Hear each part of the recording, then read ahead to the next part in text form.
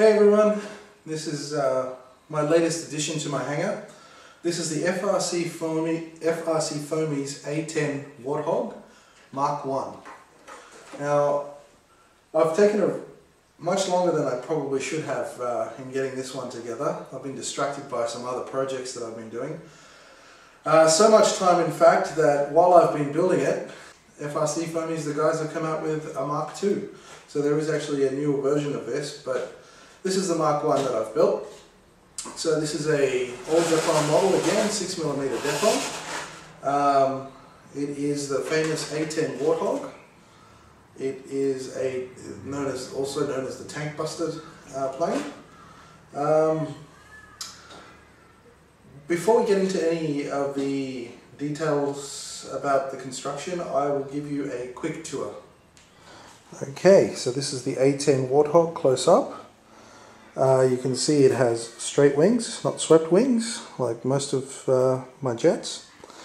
Um, it does, however, have the motor all the way at the back, and it's one of the only planes that I have, or the only plane that I have that has that.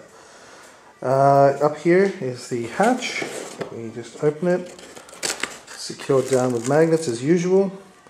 And in there we have our 2200 battery. Um, let me see if I can get close up in there. There is the receiver and the ESCs here as well. Now, with this one, because the motor is all the way in the back, it is difficult to get balance. So all of the electronics really have to be in the front and the servos have to be as far forward as possible. Now, speaking of servos, uh, there are only three of them in this plane. There are only three moving surfaces. Firstly, the uh, ailerons. So with the ailerons and the elevator at the back. Uh, let me show you those servos. So I've tried to put them as far forward as I could. So the wing servos are here. There we go, next to the pod. Or inside the pods. The, the pods here are just for, uh, for the look. They don't actually have any function. They just, uh, in, in the actual plane, they would of course be the um, additional fuel tanks. The elevator servo is also right up here as far forward as possible on the, on the wing. And we have a long control rod that goes all the way back. So there is some uh, special care that needs to be taken when um, assembling the plane because of this long control rod and I'll get into more detail there in a minute. Okay, the motor I've decided to use is a 2826 um, dash 6 Turnigy. Uh, it's a, and there's a 6 inch prop on there. The motor is a 2200 kV. Um, so that is the tour of the plane. Um, You've got these big engine pods on this plane, on this plane, which uh, I think look really cool, but of course they're non-functional. Um, but they do look pretty, pretty, pretty nice. One thing that I enjoyed about doing this was putting this little face, this grizzly face on the front, which is um, uh, which a lot of the uh, the fighter companies in the actual Air Force have. Uh, they do put the paint this face on, and up here is this uh, gun, um, which I've actually put in is a, uh, as suggested, is a uh, bushing, a plumbing bushing, just to add some extra nose weight. Um, more on that in just a second. Okay, so that was the uh, tour of the plane. Um, just to show you the throttle, I do have a throttle safety, so this motor does deliver a lot of power, but I think we're going to need almost we're going to need almost all that power just to get it airborne because it is a pretty heavy plane with that, especially with that 2200 up the front. Now we do need that 2200 battery in the front here, um, primarily because of the balance issue. We've got the motor way in the back.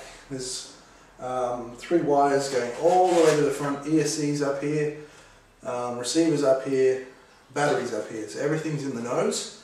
Even so, it still ends up being a bit tail heavy for me, um, which is why I put this bushing in here, which is the gun. This is what um, Greg, the, the, one of the designers, had suggested. Put a bushing, which is actually just a, it's a brass uh, plumbing fitting.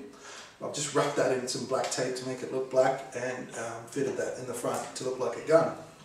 I've also added a little bit of um, carbon tubing in there to look like uh, the, the actual gun tubes. And that's just for effect. Um, it's not all that, uh, it's not at all functional. functional. Um, usual two antennas here, so you got um, diversity of antennas, uh, which is you know part of the FrSky system. This does have um, these twin rudders here, but they're non-functional, so they don't move at all in this in this particular build. Um, probably a good thing. Don't want to add any any more weight to put servos in and get those running. So those are fine. Leave those as is. So really, all we have is the elevator and aileron. Uh, aileron and elevator. Um, so special considerations. Yes, uh, as I was saying, the the push rod that runs all the way from the, the as far forward as possible on the wing, all the way back to the, uh, the elevator back here. That you really have to be careful and secure, so I've put a zip tie to just to secure that to make sure that um, that push rod doesn't flex as it, as it moves. Also, you want to make sure if you're using these um, these little nuts to hold the uh, the push rods in place, make sure that these screws are really, really tight. These are the quick release screws for the, um, for the servos. Um, okay, what took me so long? Actually, I got this thing built together pretty quickly. It went together really easily. The plans are fantastic. I really highly recommend FRC Foamy's plans. They're really, really good. Um, it went together really quickly, um, built it really quickly. What took me forever was the paint job. Um, the paints that I ended up buying, this is, I tried to do a desert uh, cam camouflage kind of a uh, motif, but um, the paints that I bought, I normally use an acrylic paint, water-based, um, and they're usually really good and I can use um, thin them down with some water and use the airbrush. This, this time the batch that I bought, the brand that I bought, the paint was really sticky. It was still acrylic water based, but it was sticky and it just wouldn't work. So it took me forever. I had to, I ended up uh, brushing, manual, manually brushing with an actual brush all the paint, all the paint work on this. So it just took me forever. And at the same time, I got distracted with some other projects like my tricopter and some other things that I decided to, decided to do in between. So all, overall, it's a beautiful model. Looks really nice. Um, I hope it flies really nice. Hasn't been maiden yet, so you will see the maiden shortly. This is just a pre-maiden review. I spent a lot of time beveling the wings, so all the front edges are beveled, all the back edges are beveled. Now, in the Mark 1, they've just got a double layer of foam to make up the wing. In the Mark 2, they've actually gone with a folded wing. Um, so, I mean, with all the beveling that I've put in, from the front, I've, you know, I've put a beveling and back and tried to make a nice wing shape, front and back. Even on the, um, the stabilizer at the back, I've done the same. All the, the rudders, the leading edges have been uh, beveled a little bit. I've sanded the intakes here in the front. So having done all that, it's really like a Mark 1.5 because it is, it has you know some nice rounded corners and some shapes, some actual shape to the wing. So it's not purely a FRC Foamy's Mark 1. All of that sanding and shaping of the wing, that took a while too. Um, inside the wing here, um, we've used a, it's got a 4mm carbon spar, normally for um, all the RC Powers designs and some of the Flite Test stuff, I've only used 3mm. Um, uh, normally I only use a 3mm carbon spar. Um, but for all of these, um, for, for this particular plane, I've used 4, uh, 4 millimeter carbon spar.